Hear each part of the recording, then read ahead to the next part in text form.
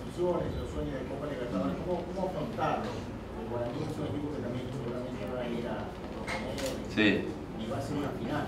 Sí. ¿Cómo, cómo, cómo, cómo está? ¿Cómo está? ¿Cómo, cómo- Claro, cómo lo estamos, con- como vos decías, con mucha ilusión. eh, estar en una Copa Libertadores, la verdad que es, es algo hermoso.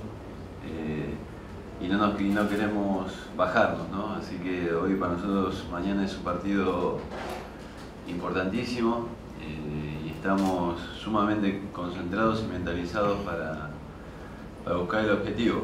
Sabemos que vamos a tener un rival que propone jugar, un rival difícil, pero preparamos el partido, nos hemos preparado para poder resolver todo lo que nos presenta el juego. Profe, Profesor, en Radio Nacional del Paraguay, eh, Guaraní se viene con todo, con un tridente eh, en la delantera. Cristal está preparado para poder sostener a Filippini por derecha, Fernando Fernández y Santander. Sí, nosotros ya, ya hemos jugado con Guaraní, no es que nos vamos a enfrentar ahora y el enfrentamiento sabemos que tiene buenos jugadores eh, Guaraní, pero Cristal demostró en campo de, Guaraní que, que los pudo controlar, así que eh, ya cada partido es una historia diferente, pero sentimos que tenemos la capacidad total para, para poder lograr lo que, lo que pretendemos, ¿no? que es ganar mañana. Profesor, buenas. De acuerdo a la trascendencia del partido, ¿podría ser el partido más importante para Cristal del año?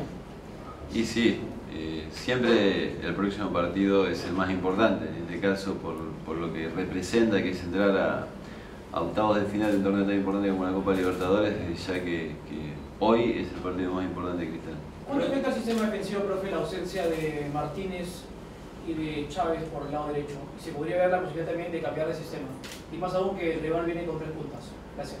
Sí, sí, es probable que se pueda cambiar el sistema y, y el tema de, de Martínez lo va a pre- representar a, a reemplazar a Abraham, que Bra- Abraham eh, fue el campeón titular del torneo local y es un jugador que a pesar de ser tan joven, para mí es un jugador extraordinario con, con una proyección no solo local sino internacional grande, así que las garantías están totalmente dadas ahí.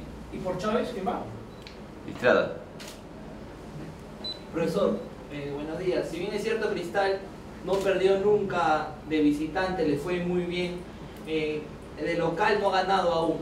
¿Qué tiene que mejorar Cristal para mañana vencer a Guaraní en condición de local?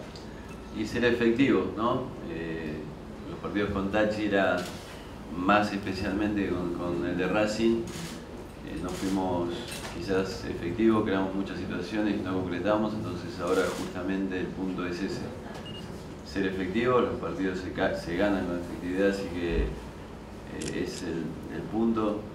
Hemos trabajado ese aspecto, así que el equipo llega preparado para responder a lo que el partido pida.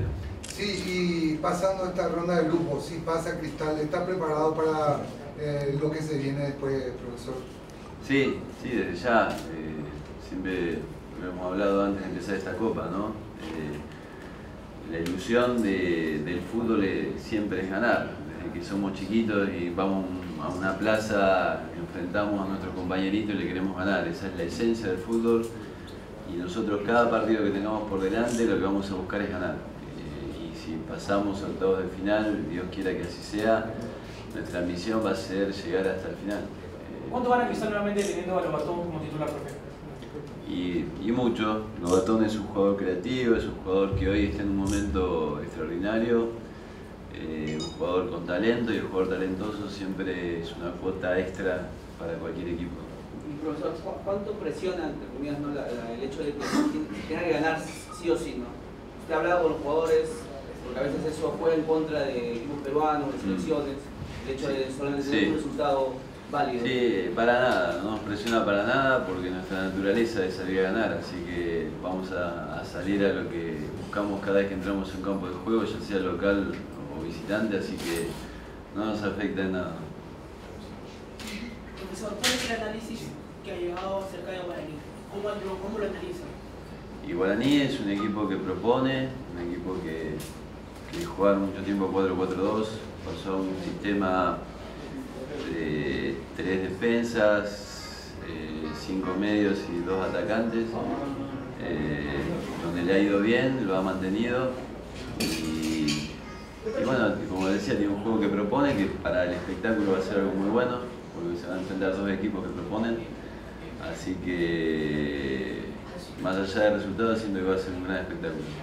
Profesor, disculpe, buenas tardes. ¿Cuál es ese ingrediente que debe tener Sporting Cristal para vencer a Guaraní independiente a, a lo futbolístico?